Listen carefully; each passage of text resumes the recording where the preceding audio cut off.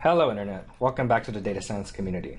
Last episode, we found out through data exploration and data visualization that our data set's still a little bit raw and will require some pre processing before we can properly create machine learning models. So, in this episode, I will go over with you three things the descriptive statistics module, how to cast your columns into the correct class type, and how to rename your columns. Okay, before we do any pre-processing, I want to show you a quick module that you can also use to further explore your data. So if you go and expand your uh, modules and then select on statistical functions and then go to descriptive statistics and just drag that module in. All right, so, and all you have to do now is feed your data directly into the descriptive statistics model. Now keep in mind this model is still an empty model. There's we have to run our experiment again for it to fully go through. So once the cloud has finished uh, processing your module, you can actually see that there's a check mark in the module itself. And if you click on visualize in the module, the module is actually no longer an empty shell of itself. There's things inside of it, but you can tell that there's something not right. The mode looks very messed up when it comes to passenger ID right? But everything else seems, for the most part, to be all right. Let's see, figure out why it broke. All right. So if you go under the Titanic, Titanic data set itself and go to visualize. So now that we're in the data, you can see that there are 891 rows and passenger ID has 891 unique values. So the mode broke because currently passenger ID is listed as numeric and the mode broke because there's an 891 way tie for the highest frequency value. So that's a good indicator that passenger ID should have probably been a categorical value. So we should recast uh, from numerical into categorical. Survive should also be categorical. P-class should also be categorical. And sex should be converted from a string to a categorical, as well as the embarked. Okay, let's start our first pre-processing of the data. So first we're going to do some casting of the data. And to do that, you would go under data transformation and under manipulation, you will find something called a metadata editor. So this is a module that, that lets you basically edit your columns, right? So metadata simply means data about the data. So we're going to edit the data about the data. So we're going to basically feed the Titanic dataset into the metadata editor. And let's actually remove this routing that we have from descriptive statistics. So if you go into the metadata editor, there are some number of things you can do, right? You can change the data type. All right, and you can change it from categorical to non-categorical, or you can change the fields into a labels or a feature. And then you can also change the column names as well. So you want to start by selecting the columns that you want to actually convert into categorical values. So launch the column selector over here. And from that, if you click on this column box, see, it, it will show up all the columns that were available in your data set. So we established last time that passenger ID should have been one, survived, P class, sex, and embark should all be categorical values. So we want to check that. So those are the columns that are now selected. And now we want to go from categorical, from unchanged into categorical. And now you want to feed the output of the metadata editor into the descriptive statistics and then run your experiment again. Once that's completed, you can actually go into the output of the metadata editor and then just visualize what's happening in there. Passenger ID is now categorical, Survive is now categorical, P-class is now categorical, as well as Sex and Embark. Now that we've ensured that that works, let's label this for good practice. So this is categorical casting. So now we know exactly what that does.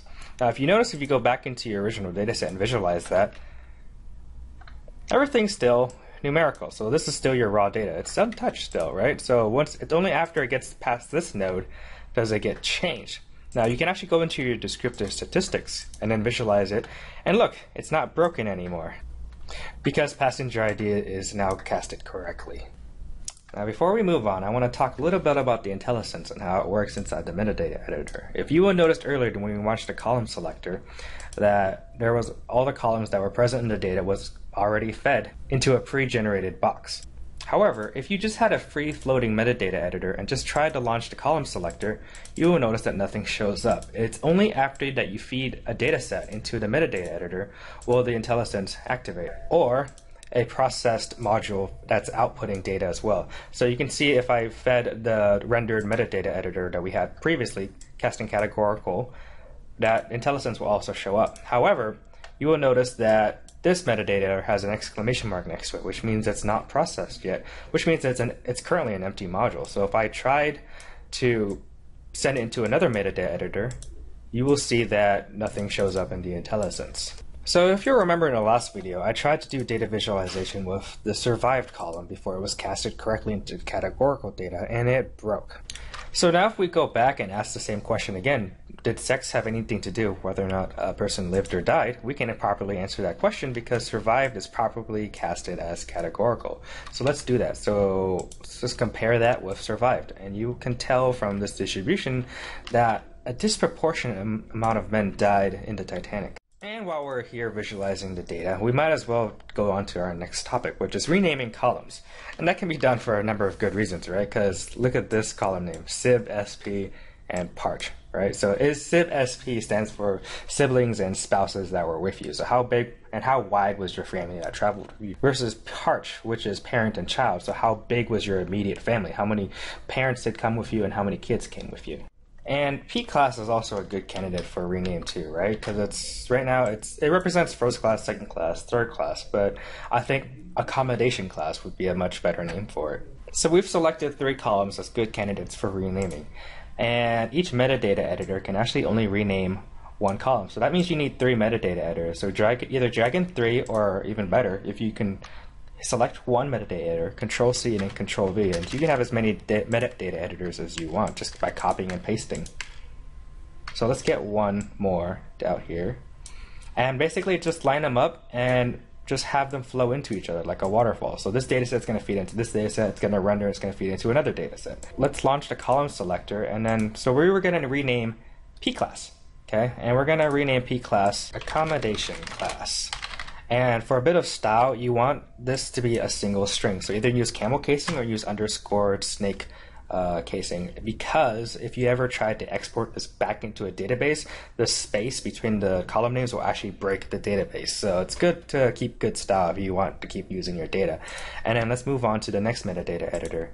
So if you remember correctly what I said earlier, the IntelliSense won't work here because it's being fed from a non-rendered metadata editor. So I just happened to remember what the column was, and that was sib sp. And keep in mind that case does matter in this case for column names.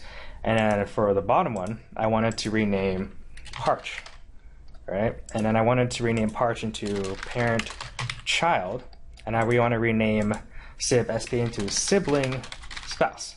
Okay, so now that that's all done, we can just run it.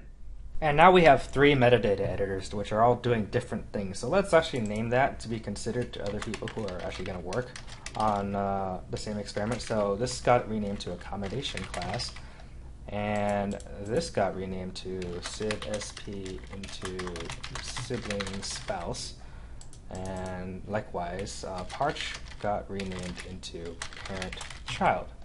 All right, so let's expand all those. So now it's very apparent and clear what happened to all of the data. And once that's done loading, you can go to the very bottom node and visualize what's been done to your data.